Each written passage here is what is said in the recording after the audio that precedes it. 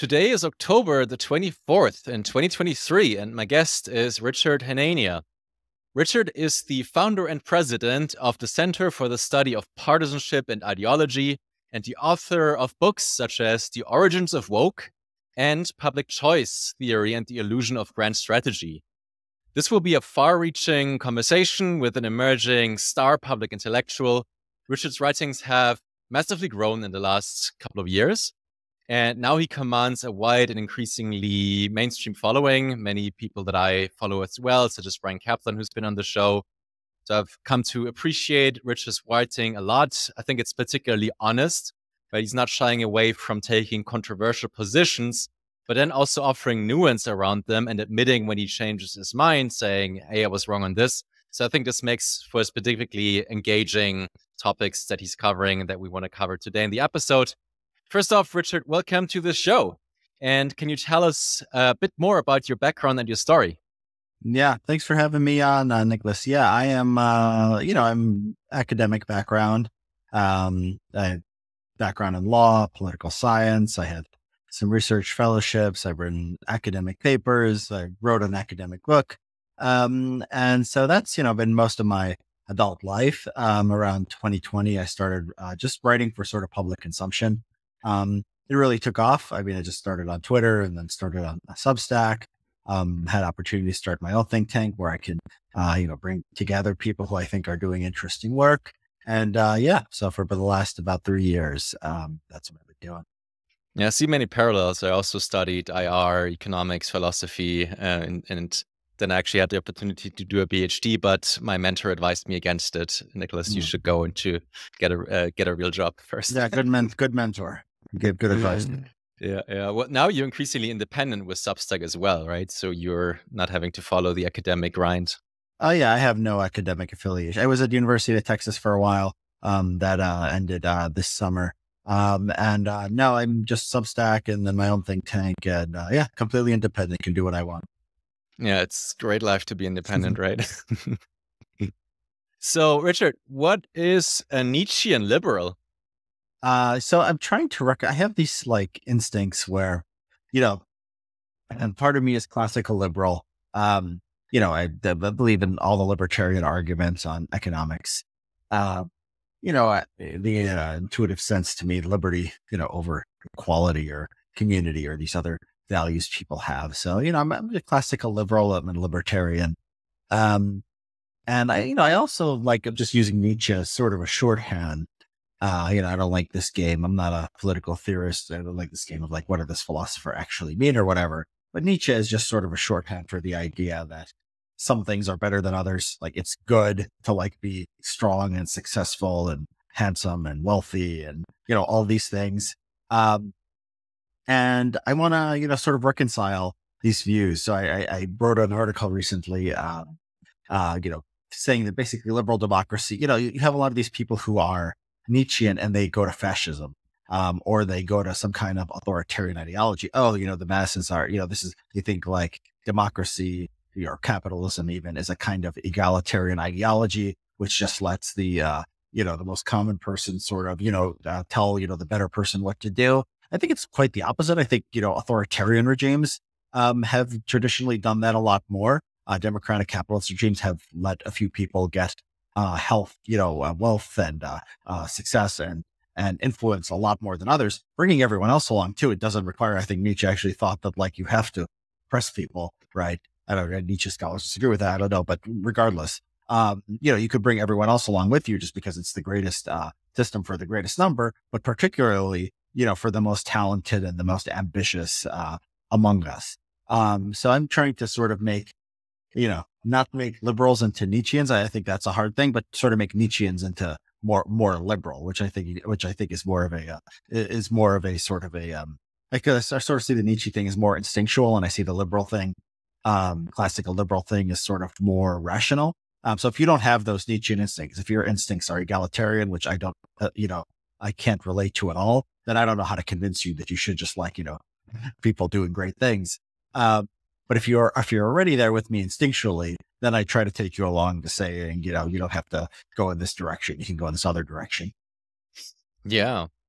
Um, Do you have a take or a riff on the role of public intellectuals? What's good and what's bad about them?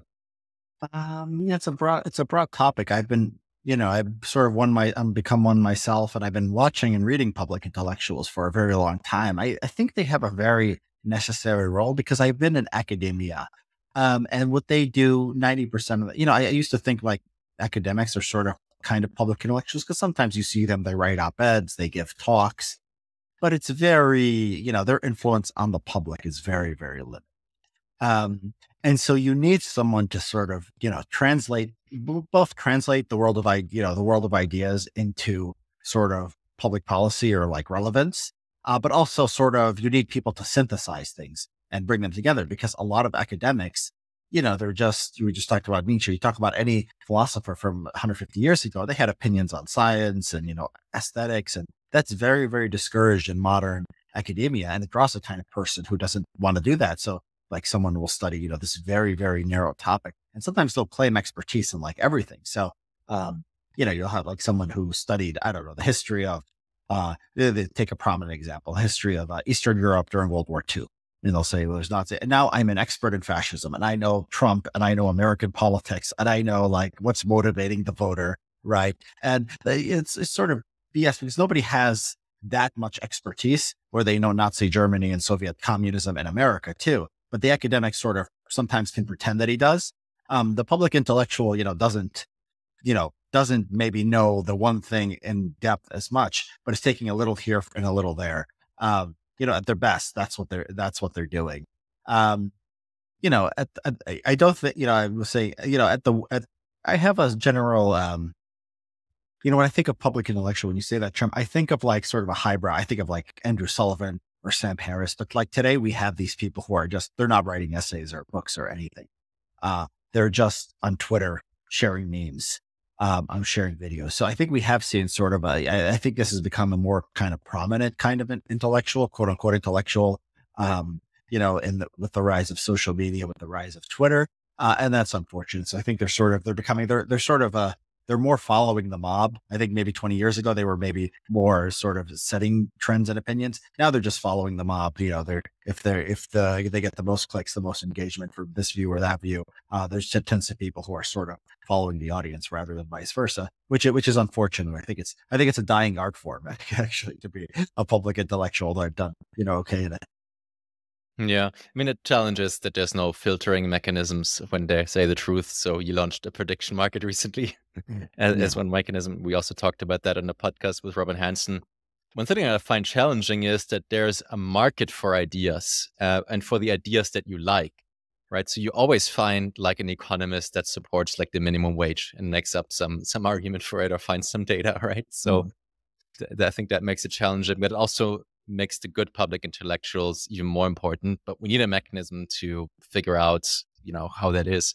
Do you want to talk a bit about your plan with launching the prediction market? Um, oh, so I'm not launching. Um, I, am joining, uh, coming on with a company called Insight Prediction. Uh, so it's, uh, you know, it's just, I've always been a big fan of prediction markets. Um, I'm now working, I'm now working with them. Um, that, you know, it's just a way to sort, you know, it's, as you know, you had, you had Robin on.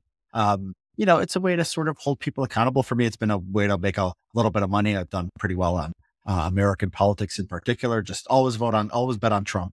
Um, always bet on Trump to stay at the leader of the Republican Party. He's seven years. You, will never, you'll never go wrong. Um, you know, people want the free advice. They won't take it though. They still, they'll still not believe in Trump.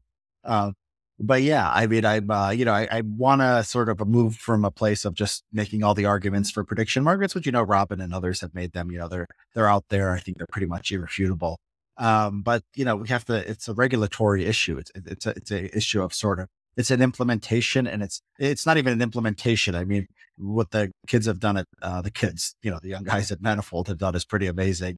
Uh, uh, Polymarket is amazing. There's a lot of amazing, you know, predicted a good system. It's just the law. Each one has this flaw, right? Um, either you can't use it in the US, has to be cryptocurrency, or you have limits on predicted. The one you can use just cash directly from the US.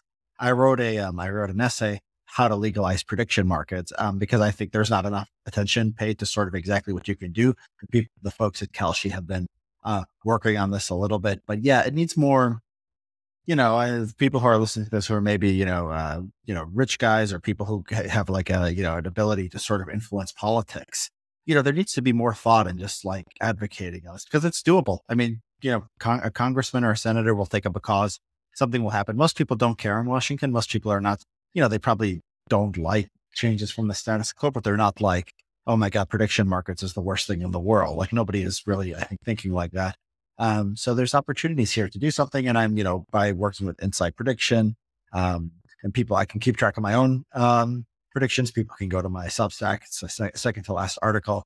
Um, but you know, um, yeah, I just want people to, you know, be involved and think more about how we can make prediction markets a bigger part of our culture. Yeah. I wonder if you've thought a bit about the public intellectual um, issue in conjuncture with elite overproduction. Um, the I don't know. So the like, elite I, overproduction idea, Peter Turchin is, I think, the most recent example, yeah. but Robert Nozick and Thomas Sowell also had like big pieces. And I read this when I read Joseph Schumpeter's book. It, it was like in 1943. That was his explanation for how capitalism will go down because it produces too many of these intellectuals and he analyzed them very deeply from like a class point of view right and it's all could be telling uh, it could could be today 80 years later it's almost the same kind of environment right sort mm. of you know a woke mob in companies that's pushing out the entrepreneurs and taking over and building a bureaucracy so. yeah um from the yeah i mean we did do we did have a big mistake by you know not just this country but you know i think uh, over most of the western world of expanding higher education uh, too much. Um, you know, it's it's it's mostly signaling. It's not doing people much good. It does it, it, doesn't make people smarter, but it makes them feel like they're smarter, and it makes them feel entitled um, to have more of a say in sort of how other people live their lives. Uh, so in that context, you're right. I mean, the, as far as public intellectuals, you know, it, it, it, tends to be such a small market anyway. I don't think most overeducated elites are public intellectuals, right? They're just advocates or they're on Twitter just complaining, but no one's paying attention to them and getting frustrated, or they have some academic job where they don't matter all that much.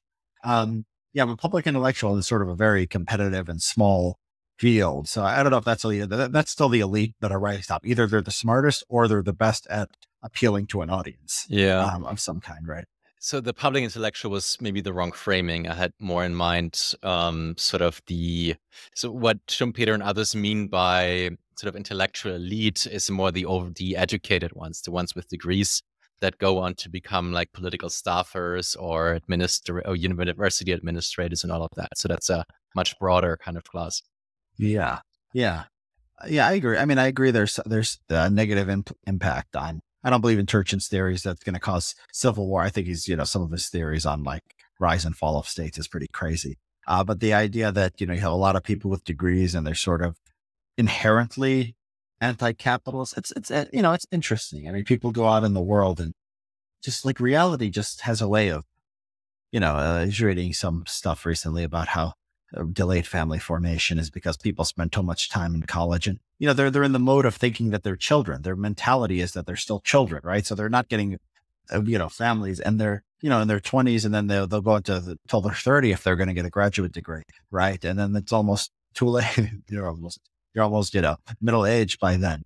Um and so yeah we need we need just less of education. That's something that you know i've always believed a lot in for you know there's just a lot of reasons. It's it's too almost too many reasons to list as to why you know education, the expansion of education has been a disaster. Yeah, yeah. I gotta definitely send you the Schumpeter passages because it will ring very familiar to what's going on today, mm especially how they need to like cater to minorities and champion all these fringe causes and things like that. Um, but anyway, I'd love to talk about your book, The Origins of Woke. Um, first off, can you give a synopsis of what the book is about and why you wrote it? Yeah. So people tend to think wokeness is kind of this this cultural trend, like something happens, you know, there's a uh, you know, hysteria over race or gender issues and people thinking this is racist and this is sexist. Um, it's, you know, there's a deep sort of legal history um, behind these ideas and sort of the ideas themselves sort of in many cases followed legal innovation. So after the Civil Rights Act of 64, um, you know, there were like doctrines developed, like the, uh, like the government started forcing people to pay attention to the race and the gender of their, you know, employees. and to seek balance, right? They started going after them for having standardized tests or different kinds of employment criteria um, that had, a, uh, you know, a disparate impact on one group or the other. And so my argument is that, you know, it's a very sort of ambitious argument. It's that like some basic changes in the law reshape corporations, reshape all kinds of institutions. Um, and this eventually led to a cultural change where now we just think in racial categories and we think in group disparities. Um, and the way we specifically think about these things in the American context, that there's basically a legal regime behind all this. So I bring, I bring, you know, the sort of the tools of social science. You know, I, I, do, I do the history. I do sort of the uh, uh, the tracing of like the you know the temporal what co- what comes before uh, what. I, I, have some data on you know how institutions develop over time, uh, and I think I tell a pretty convincing story that you know wokeness is rooted in civil rights law. Yeah, can you talk a bit more about that? How it's rooted in civil rights law, and what uh, what specifically kind of the legal architecture of that? Yeah, um, and the so there's you know a lot of different things. So there's Civil Rights Act just says don't discriminate based on race uh, and sex. Um, what happens is they come to define discrimination to mean don't have do anything that has a you know a negative impact on one group over the other. So standardized tests became problematic. Um, even like law regular law enforcement, if you arrest one group or if you stop one group more than the other, uh, that became problematic. Um, government also did some other strange things like you know they they started like you know they they uh, made it possible you could sue someone for not just like refusing to hire them or something but creating an environment that was uncomfortable for someone based on their group characteristic uh, punitive damages um, were part of this um, which means that corporations had to pay a lot of money if they were found liable um, there was also affirmative action that was forced onto government contractors um, which is covered like, you know, covers now 25 or 30% of the uh, workforce. And basically what this led in, what this led to was a, um, a, shift within institutions where there was the rise of the human resources industry, um, which was much smaller, uh, before, before civil rights law than it was after. And I, you know, I have data on tracing the rise of this in the 19, starting in the 1960s and 1970s. Um, and so, and, you know, I have uh, I cover a lot. I mean, I go into corporations. I also have um, about the universities, how like race consciousness was actually forced on the universities originally as a way um, to see if they were d- discriminating or not. And there was actually resistance, um, you know, sort of like the micromanagement of um, uh, relationships at universities under Title IX. Uh, that's also part of the book. Um, and so, yeah, I go into all of this sort of detail. Um, and then I, you know, give some advice for, you know, what people can do about it. Okay, so how does that then lead to or woke today? Right? Why do we uh, so you're saying it's not like woke as a culture that's sort of bringing all these changes, is that these changes brought the culture? Yeah, exactly. So the idea that like uh, institutions basically, you know, for example, like you know, one idea that's central to wokeness is if there's one uh, you know, if there's a disparity, that means it's caused by discrimination. There's also the idea that you have to restrict speech um, on sensitive issues. Now, these are direct mandates uh, from law, uh, right? Um, and so, like, especially like the harassment law, I mean, it, it's very clear, um, and legal scholars have shown that the only way to protect yourself as an employer uh, is to have a kind of zero tolerance uh, policy uh, towards, you know, flirtatious jokes or or whatever. Um, and what this does is, it, you know, it's, it's sort of vague standards. They're not exactly telling you what's allowed or what's not. Um, and basically, a lot of uh, HR bureaucracies have come in to to explain to employers who are not paying attention to this stuff, who are just trying to, you know, make money and and and uh, you know fulfill their business mission. Um, you know, they're sort of outsourcing this human relations, you know, uh, human the human relations to human resources, um, who are just basically inventing the rules um, and there's sort of an arms race between corporations because each one has to sort of avoid the bureaucracy and avoid uh, civil rights lawsuit, right? Um, and so it sort of, you know, it has institute, it, it, has a sort of a subtle effect where, like, if you measure something, you know, if I told you and you you have a job, you have a job, and I tell you, you know, classify your employees over six feet tall and under six feet tall, um, and then make sure you know the ones that are over six feet tall are not getting too much, you know, too many opportunities at the expense of those under six feet tall. Um, and, you know, make sure that they're not making jokes about the, you know, you're to, everything about your business changes, right? You've constructed a reality where you have to think about height all the time. Um, and even when you hire someone, you say, is this person under six feet or over six feet? Am I going to have to, you know, I'm to, am I going to have a complaint if I have to hire him? If I don't hire him, you know, is there going to be a complaint? Is he going to get along with the other uh, workers or is he going to fit in in this environment? And so there really is, you know, just like there's direct mandates um, that do things in them, but there's also direct mandates and like uh, vague man, vague, vague sort of, you know, suggestions that the government has, for a lack of a better term, that um, really shape the way people think and really shape the way institutions function. So it's not that there's no culture, there's no independent force of culture or ideas. You know, that's not what I'm saying. It's just that like the form that this took, this concern with black civil rights that we had in the 1960s, um, the fact that it sort of turned into this looks like this HR and corporations, uh, no standardized test, uh, you know, uh, you know, criti- criticism of law enforcement because, you know, a lot, a lot of cases are just doing their jobs. Uh, how we define race, like who's, you know, wh- why we have a Hispanic category, why we have an Asian category. Fascinating, you know, story behind this. Um, a lot of that can just be explained by looking at, you know, sort of legal developments that nobody was really paying attention to at the time, but ended up having uh, large downscale influences. I'd be interested in that in particular. I remember I heard an episode, podcast episode about it, and I was really mind blown how these racial classifications came about. Yeah, who do you who do you talk to in that? Uh... It was I don't remember who it was, but it was on Free Thoughts, the podcast. The Free Thought was it Dave Bernstein? Because there's a guy named Dave Possibly, Bernstein. yeah. He's a professor of law at George Mason who just wrote a book on this topic mm-hmm, called mm-hmm. Classified, which came out in the last I think year year or so. Um, so that's again, people can uh, look at that book. Yeah. And I also have a chapter on that in my uh, book too. Yeah. The Hispanic category was just sort of a, a, uh, you know, it was just sort of a, a mishmash. Uh, it was supposed to be Spanish speaking. Um, and somehow it got, you know, they, they started collecting data on Spanish speakers. Um, it like who was included, who was not was sort of, you know, some congressman would lobby for their particular interest group. Um, and then it sort of became, it, it, just became because they had the data, it had became a sort of self-referential cycle and it just became sort of a permanent category that it, uh, that included, you know, people from certain countries and not others. There's the other uh, fascinating one is Asian um, Pacific Islander, which came, came together just because uh, the delegation from Hawaii uh, lobbied for an Oriental category because the Asians were all living in Hawaii at the time you know, that there was a, a majority, uh, it was a majority, I think, uh, East Asian and Native Hawaiian state. Um, and they just put them all into the same category. Uh, later on, they divided them because the Native Hawaiians, they didn't like, um, through their uh, senator, um, did not not like the idea they were considered Asians for the purpose of college admissions, which, which hurt them.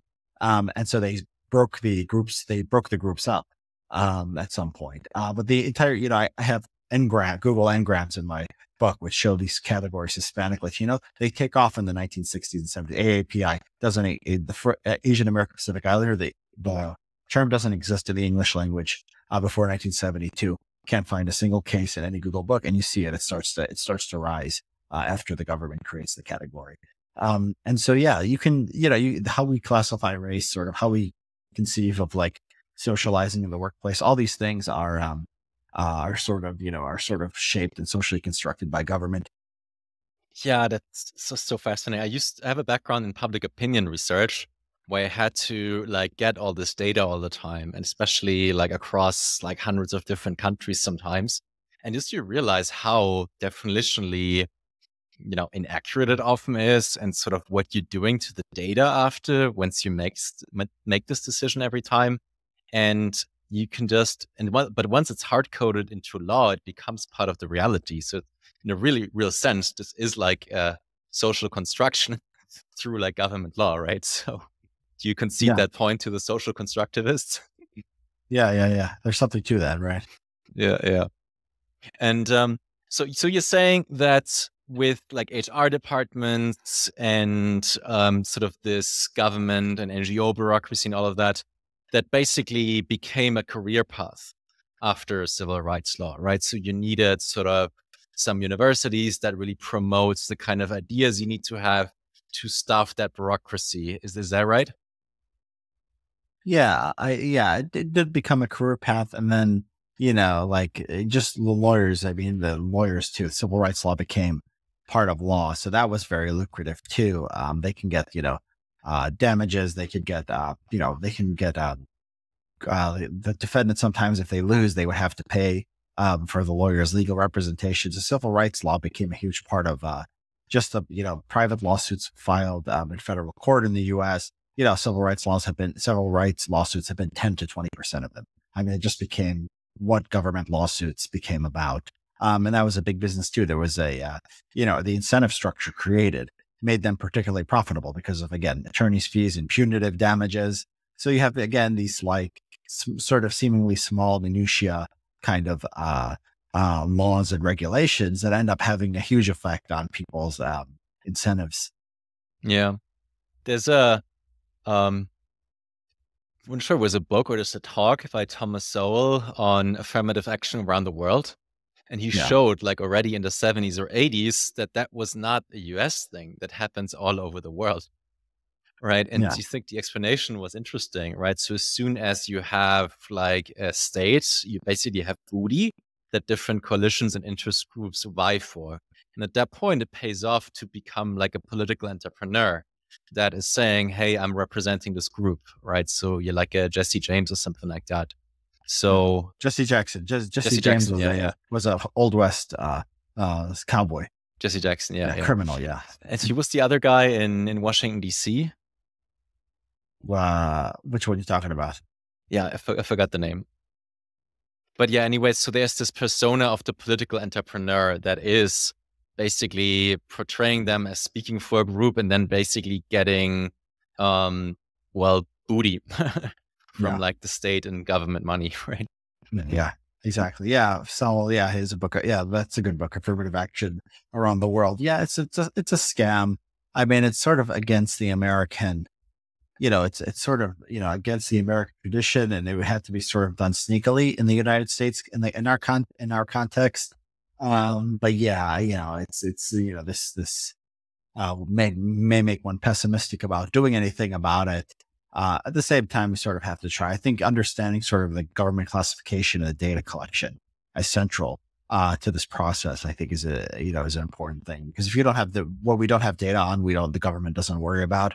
Uh, so I think that's like that's how it all started, and that's potentially you know one weak point of all this. Yeah. So is the is what you're saying with the book um would you agree with or disagree with Peter Thiel when he says that wokeism could be like a distraction of like a deeper seated problem or like stagnation in society? I think that, you know, I think that Peter sort of thinks that it might be, you know, I do think that we can exaggerate this a, a little bit. You know, I wrote a book on wokeness, so I think it's, I do think it's important, but, you know, because it annoys me a lot and it annoys a lot of people. Um, and so, you know, it's good to, you know, noise people, there's a reason and there's good reason to be upset about it. And that the effects are not, you know, small. I think they're large. Um, but, you know, it's treated as the center of our politics. It's treated as like, you know, like nothing else matters.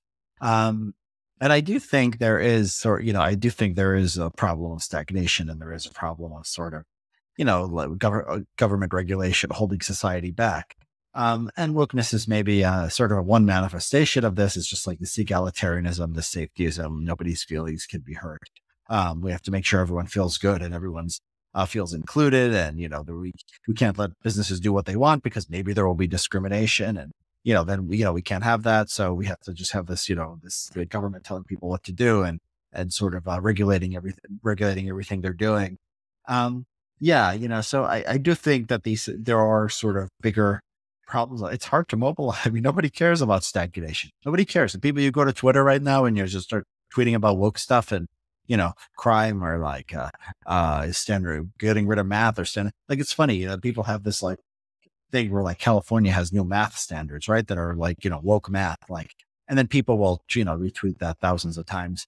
Uh, and then, you know, if you're like, just like, some regulation that doesn't allow you to use math to do some important thing, like, you know, nuclear, you know, something. It's some people will be interested in it, but most people won't. They'll be interested in because, you know, somebody did woke math. Not if like math and engineering doesn't matter because you're not allowed to build anything. Like that's also, you know, something that should be uh, very concerning. So yeah, this is sort of democracy. It's the woke, it's the woke side and the anti woke side. They're very, uh, they're very, uh, you know, they're very, they, they're easy to mobilize around these issues. So, can you ever get one without the other, like the good side of democracy and without without the woke stuff? Um, yeah, I think I mean, we we didn't have you know woke stuff for most of our history. We had other bad parts of democracy. I think we've been going in the wrong direction uh, in the 40s and you know for like starting in the 1930s and 40s, really. Um, but yeah, I mean, we yeah, I mean, it, you know, everything is compared to what, right? You have you had Americans, you know, the big, um, you know, long periods of growth, you know, the 1960s and, uh, or, um, 1950s and 60s. Uh, you know, we were under a democratic system, but we, you know, we can, we had 19, I think 1990s were relatively good. I mean, compared to, um, came, you know, came after. Um, and so, yeah, you can, you can do it. I, I think the question, yeah, I think the social media and, uh, the internet um, have changed things a lot. So that's the most recent change, right? The last 15 years. I think it's had very, a lot of distortive effects on our politics. Like people think Trump, the rise of Trump is like, uh, uh, you know, because of outsourcing. I, I don't believe none of that nonsense. You know, I, I think it's just the internet, um, and sort of, you know, the people are getting more what they want. He represents the Republican voter. Always, he always represents the Republican voter. Just there's less gatekeepers now. There's less any, anyone preventing uh, somebody like that from becoming president. And the backlash to Trump is also sort of, you know, emotional, emotionally driven. Wokeness is also sort of grassroots. These people, these intermediate strata of highly educated, but not very rich, uh, part of society. Uh, so yeah, that's our, I mean, that's our challenge now. It's democracy, uh, plus, you know, social media and the internet. Um, but that's changing too. I think there's, you know, probably the internet, you know, it's like Twitter, it's maybe a little less important than it was two years ago, three years ago maybe it'll stay the center of, of our world, uh, or maybe it become maybe it fragments more. Then you know that's going to be just a new set of challenges, or uh, you know, sort of a new uh, you know new landscape on which we'll we'll have these debates. Yeah. Um, what what would you say, or not sure if it's in the book or not? Um, what role overall big tech plays, right? So you hinted a bit at that, that modern social media might aggravate differences. But then we also know there have been times in the past where things were maybe even more polarized, right? So how much of that is tech and how much of it you think also can be solved through tech, right? Because prediction markets is also something is also tech basically. Yeah. And a lot we need a lot of tech to get out of the stagnation, right? Yeah. Yeah. Um yeah, I mean, it's contributed. The polarization, I think, you know, started in the American context really before the internet. It really starts taking off in the 19 90s.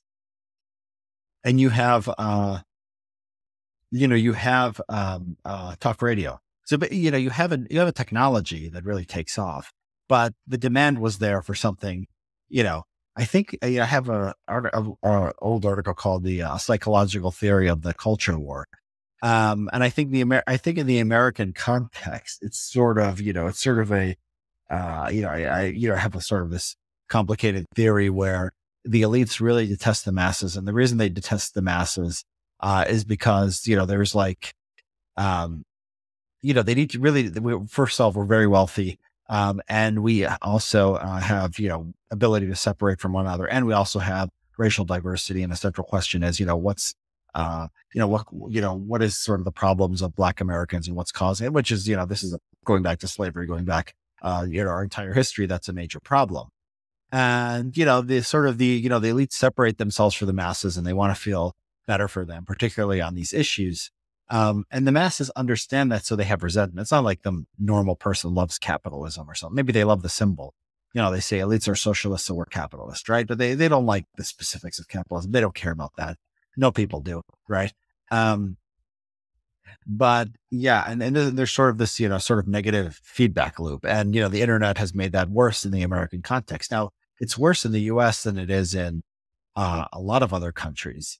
And, you know, the other countries that have gone sort of the American route, they've been either under, you know, they've been American, uh, they're either in the Anglosphere, like, you know, sort of the UK, and they're, not as extreme as us. It's the polarization, but it's there. Um, or they've had the immigration issue, which has brought uh, similar problems to our own underclass, at least in like France. Although they're not polarized in like the way we're polarized, it's it's a, it's a very different thing. Um, and so and so, yeah, I mean, there's a lot there. Um, will you know, tech bring us out of it? I don't know. Like, I think it could might distract us to the point where politics, like, I think politics around 2010, 2015 became more interesting than entertainment. And that's what got people into politics. So like Trump just made everything funny. um, and like these, you know, new identities and stuff like that. Like people were like, instead of, you know, playing a video game or, or, uh, watching a movie or something or getting into a subculture, we're really into politics. And so, you know, maybe we have, we go a thing where like we have more entertainment, like VR or something, right? Um, or just whatever, more, you know, more distribution of games or, you know, uh, uh, you know, fantasy worlds or whatever. And then people are not so interested in politics anymore. Like that could be one way out of it. It could be a, there could be a male female thing where men like video games and VR and women not so much. So you need something else to sort of entertain women. Well, according to Jonathan Haidt and these people who uh, looked at like t- teen health, health of teen girls, they're looking at Instagram and becoming miserable and unhappy about that. And maybe, and like politics, left wing politics seems related to that, like, you know, rising misery and left wing politics among young women goes together. Um, but yeah, the internet will be sort of shaping what grabs our attention. And politics is just one of those things that potentially can grab our attention. And, you know, whether it does or not, I think the people who's, who are into politics because, you know, the sort of the marginal use uh, consumer of political news or information, the person who would just go watch a video game or reality show or something instead, I think that person has more of a sort of unsophisticated, sort of, you know, populist uh, kind of uh, uh, take. I think it makes them woke on the left or kind of like QAnon or, you know, extreme Trumpists on the right. Uh, so maybe peeling those people off can maybe make our politics less polarized and less crazy. Um, and so, yeah, we'll see if that actually happens. Great. To to round up your views on domestic policy, um, there's a lot to be uh, worried about. But what would make you hopeful? Is there some kind of movement or sign that you see of um, positive progress or growth and ending the stagnation? Or yeah, kind of I mean, I think I think there's some there. I mean, I think that you know, the, you have Andreessen's techno optimist manifesto. You have these people. You have, but those ideas are not so radical among smart leftists. Um, and so you have the Yglesias and like Noah Smith and these people. Uh, you have the Klein and uh, Derek Thompson talking about the abundance agenda. And like you have, um, I haven't been paying that much close attention to it, but the YIMBY movement seems to have had success in California. I don't know how important the laws are. I see some people say they're very important, and some people say they're not. Uh, but the trend is certainly in the direction towards YIMBYism and sort of deregulation. So you have the you know nuclear power thing, uh, which people are agreeing more on. You have the YIMBYism that people are agreeing on. Um, and so it's like, it sounds like a lot of good ideas are coming uh, to the forefront. Um, is just, are they enough to overcome the inertia and the vested interests? Um, that are there and have prevented good things from happening. Uh, we'll see, but you know, there's, I think things are moving in the right direction. I think wokeness, I don't know, you know, it peaked, you know, peaked to a certain extent. Um, but you know, I think that like, you know, people are sort of they can read my book and you know there there's just more initiative to like actually do something about it and it's not like that just increases polarization because i think that like you can get rid of a lot of this stuff and the left is not wedded to it as much as you might think they just sort of have to defend it um uh but you know you can create it you can create sort of a new reality there uh so yeah i mean i'm optimistic about america relative to the um rest of the world i mean will we you know, uh, you know, the, the debt. The, I'll say the one bad thing is um, the one sort of the negative on the horizon is the is the debt, um, which is coming from Social Security and Medicare, and there seems to be no um, political will to deal with that. Um, and so we're going to have to try to, you know, clean up abundant energy and grow, but we're going to potentially, you know, be a much poorer country um, if we have to raise taxes uh, in order to cover the um, uh, you know, the, the, what's been promised in these entitlement programs. So that's sort of a, you know, a sort of great, great cloud on the horizon. So there's, yeah, good things to look forward to and bad things too. Mm, yeah, yeah. Um, I'd love to switch gear a bit and talk about your work on international relations. Um, can you talk a bit about your book, um, Public Choice Theory and the Illusion of Grand Strategy? What are you mm. trying to do in the book, and how does it now inform your thinking when you look at um, recent foreign policy issues? Yeah, I mean, it's sort of it's it's similar to in a way it's similar to my uh, my last book in that it uh, uh, it really takes a sort of a bureaucratic sort of public choice kind of approach to the question. And you know, I have an international relations background. It just you know sort of annoyed me that people saw international relate saw like American grand strategy as a coherent sort of whole um, that was like, you know, that was influencing the world. And, uh, you know, there's something to that, but I think there's also just a lot of path dependency. Um, so I do think the American sort of the American role in the world is just determined by, look, somebody made a decision a long time ago and now this is our commitment and now we're going to stick to it.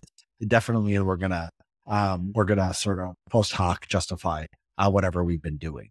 Uh, so this is, a, I try to explain sort of different aspects of American policy, the war on terror, like wars in Iraq and Afghanistan, uh, the U.S. approach to China, um, historically, um, through this and a few other things, uh, through this lens. And, um, so today, I think there is more.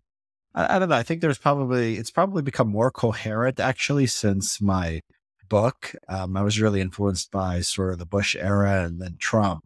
Um, under Biden, I think that like on NATO, there's been sort of more, and then and and then China. I think there's been more sort of what we could call grand strategy there. Uh, so it's maybe moved a little bit away from it.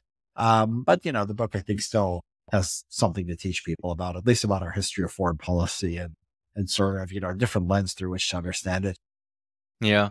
And, and I found one thing really interesting, and you said that in a couple of your blog posts, and it seems to me coming from sort of the public choice lens. And I'm quoting you, even though I think you deleted that passage in that uh, blog article, right? The ethical case for the siege of Gaza. Which, which where, I don't think I, I don't think I deleted anything. What did I delete there? Hmm. Maybe so it says all states are inherently suspect as moral entities, with some being no, better no, or worse than others. Okay. okay, then it, no, I, yeah. Yeah, but anyway, I like that passage. And it says, continues, individuals generally have zero control over what policies their governments adopt, making the yeah. doctrine of collective responsibility just as pernicious here as it is in the frameworks of the wokes and Marxists. Yeah. So yeah, I mean the yeah the people in Gaza are of course not responsible for Hamas's attack, and same with the Israelis, and same with Americans and American foreign policy. That's true. So to me, this is a red herring. Um, what to do, what Israel should do about Gaza, what the U.S. approach should be. You know, it has to be, I think, utilitarian because there is no individual rights or collective responsibility. People trying to argue that way. This country has a right to do this. This country has a right to do that and responds uh, I just think that's not the right way to think about these things. Yeah, but then I think in a way you're questioning um, how uh, nation states see themselves. They see themselves as sort of representing a collective in many ways, right? Yeah, I mean the whole Palestinian, which I think is a good thing. I agree with you. Yeah, you know, yeah, this. I mean, that's a good point because the Palestinian they say, oh, they have a right to self determination. They have a right to have their own country. But then you say, uh, you know, you want collective responsibility for what you know their leaders does, and then no, no, no. So wait a minute, they have group rights, or they don't have, uh, you know, they don't have a they have a group right, but they don't have any group responsibility. I think that's a that's a pretty strange place to be in. Um, yeah, you're right. People, it sort of does, you know, take it sort of uh delegitimizes a lot of you know a lot of the sort of the rhetoric out there. Yeah, yeah. Um, so it means, I mean, in the climate of situation, and you only really have tragic choices. Do you want to talk a bit about the choice that that Israel is facing and the tragedy of it? Yeah, I mean, I don't think that anyone is like any reasonable person can doubt at this point that uh, the Palestinian, you know, the Palestinians.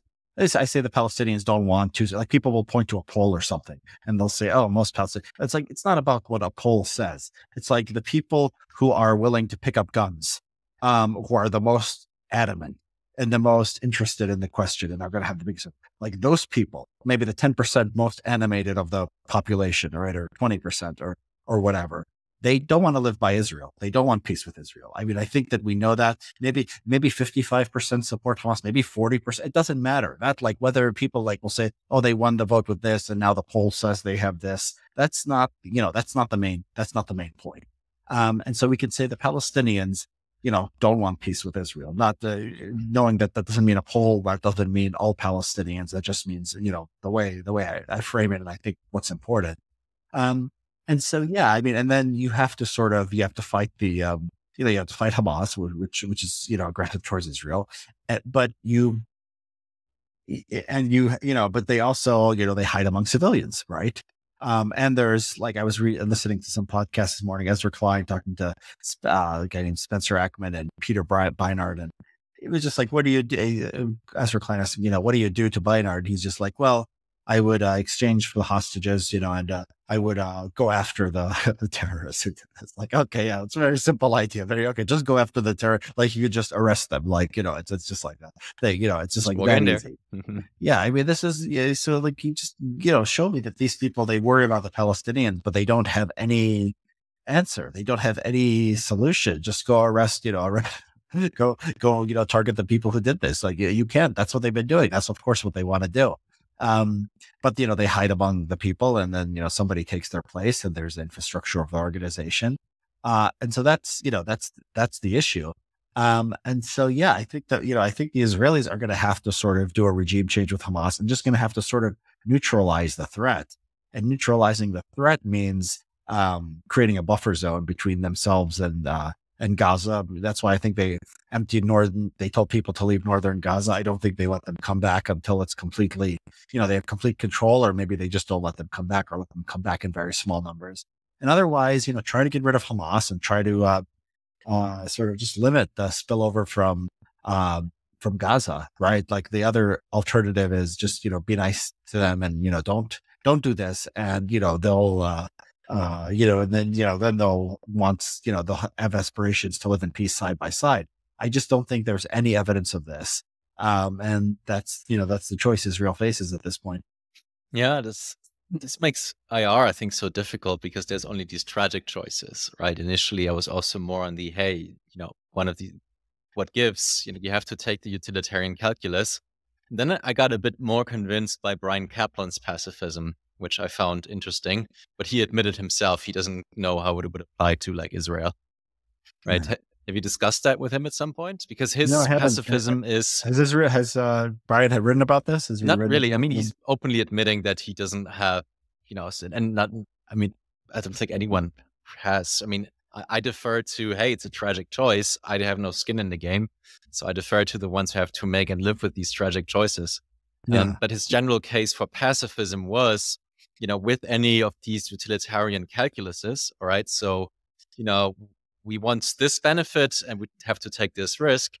You're like, your benefits have to be very high and you have to be very certain about these benefits. And in real life, almost no like government or states intervention is having these two, right? Having, you know, large yeah. benefits maybe, but there's, it's rarely or, or ever certain, right?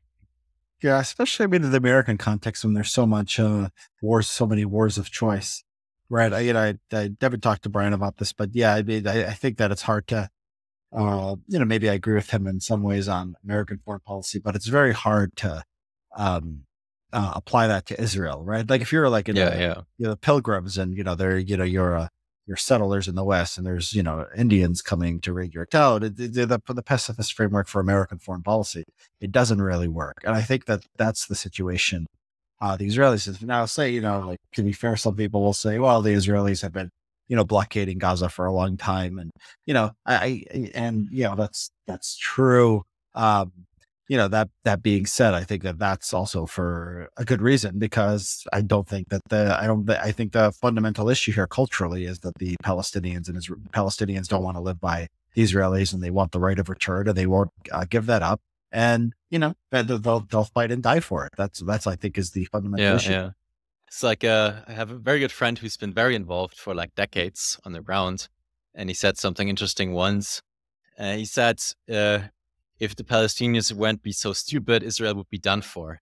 If they would do the nonviolent resistance thing and denounce violence in their own ranks and just nonviolently protest like India Gandhi style, Israel would be done for. Oh, I don't think that's I don't think that's true. I think no? that's also naive. No, no. I think Israel would just take the settlement. I think in the West Bank they would have. I think the got the so now in Gaza, yeah, maybe, uh, because Gaza is they the Israel is gone from Gaza. I think the violence got Israel out of Gaza. And I think in the West Bank, if they did nonviolent, I think they just, you know, they would just settle the, the Israelis would just settle the West Bank. That would be it. Hmm. But the Israelis, the Israeli, the, the Israeli settlements, I mean, have been have been expanding. I mean, and I think that that's uh, there. There is a settler movement there, and it's a real thing. And you know, if the if the Palestinians just lay down, maybe, maybe you know, who knows? Maybe it'll apply. Maybe the Israeli left will have more of a uh, influence, and maybe they will stand up to them, but maybe maybe not. Maybe they'll just be you know. Yeah, I mean, what I'm kind of thinking is, uh, and that what's made India so successful, if people see the gun pointed at someone who's obviously defenseless and obviously not threatening with violence, that has a very strong or powerful effect, right? Not even just in media, but also like on the people on the other side. Like, what are we really doing here? Right? So I'm not yeah, saying that it's guaranteed to work, but you know it has yeah. worked in the past, right? Violence yeah. also not guaranteed to work. I mean, it works. It works, and you know, it depends on the context. Whether it works against the British Empire, it's not going to work in North Korea or China or something. Um, and Israel, would it work in Israel? Yeah, it's a question. I don't know. I mean, there's there's uh, advantages to it, and there's obviously clearly disadvantages. Yeah, yeah, yeah. The other thing I was wondering if you thought about in your work on international relations is so you had this post about wars of necessity, where you talked about um, asymmetric conflict victories, right? So, and you're saying that the weaker actor increasingly has higher odds of winning in an asymmetric conflict. Um, so, I was wondering if you can talk a bit about that, because that also indicates that defense technology is shifting, right? And you, as the actor with the strong army, the strong weapons, it's increasingly harder for you to, to operate, right? So what yeah. does it say about um, how you know defense policy should look like in the in the 21st century?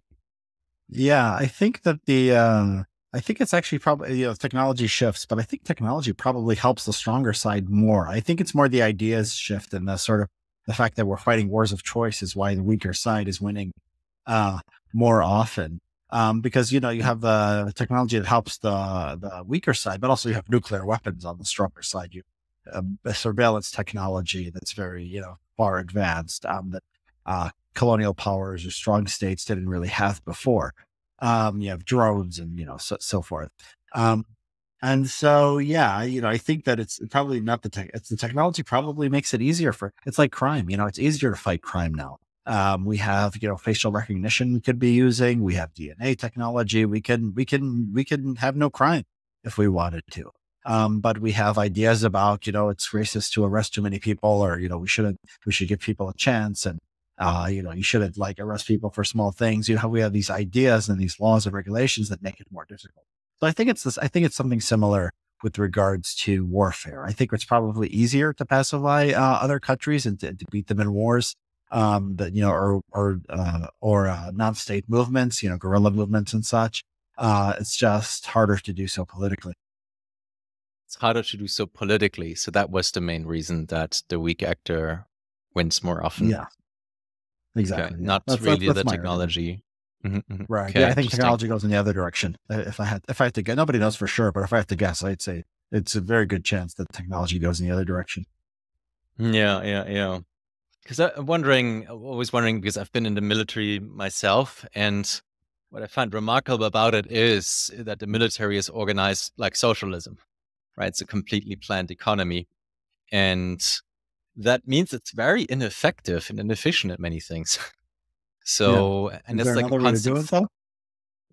Well, that's the question. You know, there is private decentralized armies, right? Estonia has like volunteer armies, for example. And right? There's Wagner so, in Russia, right? Yeah. Mm-hmm. Yeah, the U.S. all the U.S. relies on to a certain extent does rely on contractors too, and the Russians yeah. obviously in, in Ukraine have also in effect like... militaries can also operate, and it's like a very strong doctrine in the Navy, and also what I and as a ground soldier learned is that you have to rely a lot on yourself and kind of deliberately sort of ignore the command structure if necessary right? Because mm. the ones up there, they don't always know what's going on. So there's a very strong culture around you have to be individualistic in this massive, inefficient bureaucracy, which is kind of interesting. Yeah. Makes sense. Yeah. Yeah. Where were you? Where were you? you were, what, uh, what country? Israel? In, in Germany. Ah, in Germany. Okay. Opposite yeah, yeah. there's, there's, most times you meet someone in the West and they, you know, they have military background. If they're foreigner, it's you, it's often Israel. A lot of people. Yeah. Yeah. Yeah. Yeah. But yeah, that was one of my takeaways. Like these, um, you know, they had, I was, they sent like this, the guy who had the most like bodybuilding mass to go into, uh, he, they sent him to be a waiter. Right. And then this other guy who was like pretty fat and pretty stupid, they sent him like to the toughest as nails mountain engineers. Right. Mm. So I was like, how do these militaries operate? And then I'm increasingly is it, also is it on purpose. Is it on purpose? Maybe they need to make the fat guy tougher. I don't know. Is there a plan? I don't think that was part of the plan. But no. um, you know, reading also about sort of the deployment of like US bases and things like that, it seems to me there's just this enormous amount of waste going on. Right. So and I you know, just like any other large centralized entities, I just think there's enormous inefficiencies. Right. And it's especially hard to um yeah, so I wonder if if we sort of if that sort of model, like one centralized army, will be something that will persist in the 21st yeah. century. I mean, maybe that's maybe that's one reason the smaller uh, are winning wars. Maybe they're too big and too centralized. The modern armies and the insurgents are sort of more Darwinian process of selection, and they're they're they're you know smarter and better at what they do. Maybe that sort of makes sense. Would that have changed over time? I don't know. Maybe that doesn't explain change over time because countries were always centralized and guerrillas were also always less centralized. Well, maybe, maybe they were, maybe the guerrillas used to be more centralized because they were, uh, uh, you know, there was only like one guerrilla movement. I, I, don't, I don't know if this is historically accurate. Now it's easy. Anybody, a few people can get together with guns, right? Roadside bombs. They can fight. So maybe there's more competition. I don't yeah, know. Yeah, yeah. Also, when you're not centralized, when you're centralized, you have one command center right? And then if you neutralize that command center, then all the other user units are confused and don't know what to do. Whereas when you like guerrillas in this one town and you neutralize them, you still have to deal with the guerrilla in the other town. Yeah. Yeah. Yeah. Uh, anything else to say about American foreign policy and what are you thinking about right now? Well, not not really. I'm uh, sort of um, yeah, American American foreign policy. I think it's going to be very interesting to see the extent to which, uh, you know, where this goes in the Israeli conflict because uh, you know, like it's a it's a tragic situation, but I you know I think that like the question of you know whether this is different from previous wars because the number of people killed, the damage Israel has done to, to Gaza is off the charts relative to former uh, wars in the Middle East. This is you know closer to uh, you know, it's getting close to something like, you know, Syrian civil war or something as far as the aggression with which Israel's fighting it. Israel's obviously a lot more competent than the uh, Syrian government. Um, and so, yeah, we'll see. Um, yeah, we'll see if this changes things. I mean, it's sort of like Bukele, you know, when he cracked down on crime. Uh, you know, you're in Central America, but you probably uh, know about this well. Um, you know, he just went further than everyone else, and eventually solved the problem. I, I you know, the, there's no way to completely solve the um, Palestinian problem because they're still be there. I mean, you could have them as refugees. Unfortunately, everyone is against this. I mean, this is a, uh, you know, the uh, Arabs don't want to take them, and the Westerners, of course, are not going to take them. And who knows? And Hamas probably is not letting them, going to let them leave. Um, and so, yeah, I mean, they're just going to suffer in a really bad situation. The question is whether Israeli um, security me- needs are met by the end of this. And you know, I would guess that they are, but you know, we'll see. This is something new. Yeah, yeah. Uh, do you have another book planning? Do are you planning to write another book anytime soon, or another big project? Not really. No. I mean, people should just come to my Substack. I'm writing essays now. I have a few essays uh, in the work, but I don't have like a big project. Whether I'll have a big project in a book, uh, or I'll just you know write, uh, you know, write essays and be on Twitter and likewise. Uh, you know, I, I don't. I don't know yet. I'm sort of just thinking about that now. Okay. Any other kind of support you want to list or, you know, looking to fundraise for any organizations or want to draw attention oh, yeah. to something of our listeners? I mean, CSPI, we're always, you know, we're always looking for funding. It supports my work. It supports the work of, uh, you know, other people. You go to our website, uh, CSPI uh, center dot I think it's com now. The old one was org. Yeah, cspicenter.com. Um, we have, you know, podcasts. We have a lot of cool reports. We've done stuff on campus climate. Um, uh, we've done stuff on COVID when that was an issue. Um, you know, we've done stuff on, on uh, uh, the Russia Ukraine war. Um, and so, yeah, you know, people can be in touch with me through, you know, Twitter or my Substack, um, or they can follow CSPI on, on Twitter. They can follow me on Twitter. Um, and yeah, you know, we're always, you know, looking for, looking for help on that. And yeah, for everyone else, I'm um, just follow me on Twitter, follow me on Substack. It's all under my own name and you'll, you'll stay up to date on what I'm doing. Fantastic. Richard, it was really awesome intellectual rides from Nietzsche Nietzschean liberalism to grand strategy and foreign policy. Really enjoy blazing through these super interesting topics with you and having a conversation. So thanks so much for coming on. Yeah, thank you, Nicholas. I really enjoyed it.